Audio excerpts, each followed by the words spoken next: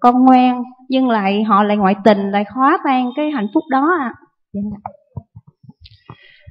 câu hỏi này hơi găng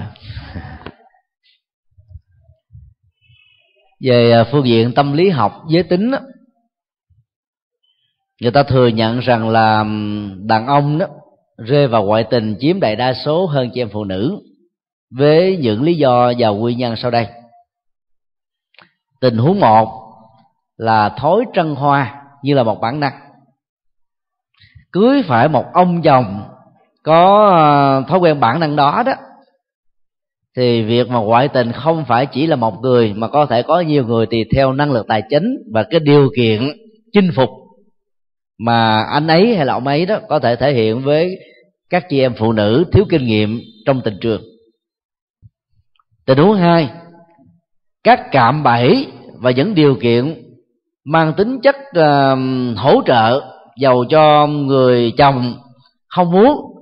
Nhưng mà khi mà bị dướng vào cạm bẫy này rồi đó thì khó có thể vượt qua được. Chẳng hạn như là bị phục thuốc hay là cài bẫy trong một cái ờ, không gian yên ả rồi ờ, nhạc tình du dương.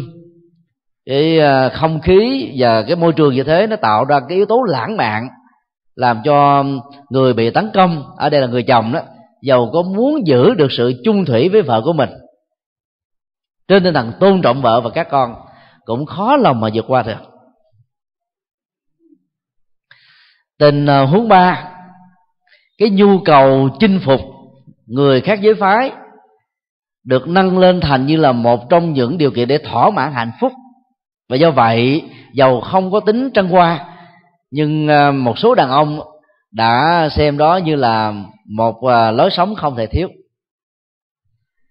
Tình huống bốn, khi mà cái nhu cầu được quan tâm, chăm sóc dành cho nhau, những tình yêu ngọt liệm như là cái thuở mới quen nhau và mới đến hôn đã bắt đầu phai nhạt. Vợ và chồng nó gần như là không có thời gian dành cho nhau và do vậy làm cho người chồng có cảm giác là thiếu vắng trong khi người vợ ở nhà đó thì quá bận tâm đến con thậm chí đến cháu. Công việc trong nhà ngoài phố thậm chí là việc luôn cả bên gia đình họ tộc hai bên làm cho một số ông chồng cảm thấy rằng là cái nhu cầu tình yêu và thỏa mãn uh, chuyện ấy đó gần như là bị thiếu vắng. Do đó à, chỉ cần có một người nào đó tấn công hoặc giờ những cử chỉ thân thiện của các thư ký riêng những người đồng nghiệp thể hiện cái sự quan tâm à, thông cảm sẽ có thể làm cho tình yêu phát sinh và giàu có cố giữ trong một giai đoạn. Thì cuối cùng người nam cũng đã rơi vào tình trạng là phá đi cái chung thủy hạnh phúc vợ chồng. Ngoài ra còn rất nhiều các tình huống nữa. Do đó chị em phụ nữ có nhan sắc thậm chí vai trò xã hội cao và giỏi giang mọi thứ trong gia đình làm chồng hiển hách à, trước sau trong ngoài cũng đừng vì thế mà ý lại rằng là tình yêu của mình á là bền vững trăm năm. Nếu như à, ta bỏ rơi và và thiếu cái sự quan tâm đến à, người còn lại. Trong tình huống người vợ đã thể hiện trọn vẹn hết mọi thứ mà chồng vẫn có thói quen trăn bướm thì ta biết rõ đó là cái cá tánh riêng. Và do vậy việc thuyết phục chồng trở về lại với hạnh phúc chung thì một vợ chồng á là một thách đố rất lớn.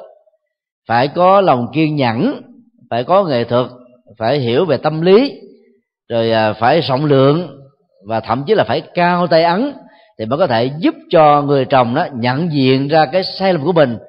À, chẳng những không cảm thấy mặc cảm mà quay trở về đó có thái độ hối lỗi với vợ để giúp cho cái tình yêu nó được hàn gắn trở lại như thở ban đầu lưu luyến.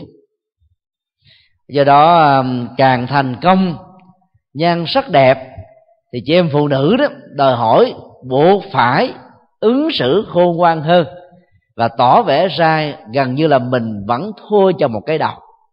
Để cho các ông chồng nó thỏa mãn được cái tôi vốn như là bản năng của họ, nổi trội hơn người vợ. Và ông cảm thấy rằng là là cái tôi của mình nó được tăng bốc cái tôi của mình à, được à, người vợ đánh giá cao. Và do vậy đó à, việc mà vợ hiểu được mình không thua kém gì so với các cô thư ký riêng hay các người đồng nghiệp, khéo léo, thì từ đó sẽ giúp cho các ông cảm thấy rất rõ rằng là vui một chút ở ngoài đường phố, chẳng có giá trị gì so với cái hạnh phúc và tình yêu lâu dài của vợ và những người thân trong gia đình dành cho ông với cái cách là chồng và cha.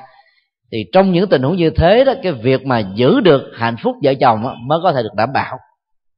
Quý bà và quý cô có thể đặt một câu hỏi tại sao chúng tôi phải hy sinh và nỗ lực nhiều như thế để giữ được ông chồng đang khi ổng là không có được cái cái tâm chung thủy như thế để làm gì? Câu hỏi đó có thể là rất là thích hợp về phương diện luật và dân sự. Nhưng mà nói về hạnh phúc vợ chồng đó nếu mọi thứ mà mình cứ căng phân theo kiểu đúng và sai thì rất là khó. Cho nên đó, đã chấp nhận con đường tại gia thì việc duy trì hạnh phúc vợ chồng đó được xem như là mối quan tâm hàng đầu. Do đó phải thấy rõ để ta mới nhận thức được rằng là có những cái trục trặc nếu nó phát xuất từ cái um, cái chủ quan của người vợ hay là sự thiếu quan tâm của người vợ hay là thiếu khéo léo của người vợ hay là thiếu kinh nghiệm của người vợ trong chuyện à, tình yêu thì người vợ cần phải điều chỉnh để cho người chồng cảm thấy là vợ mình đó như là ông trời. À, đầy đủ hết mọi thứ không cần phải đi tìm kiếm một nơi nào khác nữa. Thì lúc ấy cái tình yêu vợ chồng đó, mới có thể được đảm bảo đến răng long tóc bạc. Do đó người chồng cũng tương tự phải xem à, rất rõ các cái nhu cầu của vợ và đáp ứng được những nhu cầu à, một cách trọn vẹn đó thì hạnh phúc mới được lâu bền. Bằng không một trong hai người đều có thể ngoại tình. Bắt đầu là, là trong tâm tưởng về lâu về dài đó chứ thể là trở thành ngoại tình thật. Và điều đó đó nó làm cho cả một gia đình đứng trước một bờ vực thẳm của khổ đau là điều vốn không nên và cũng rất cần thiết để tránh. À, xin đi câu hỏi khác.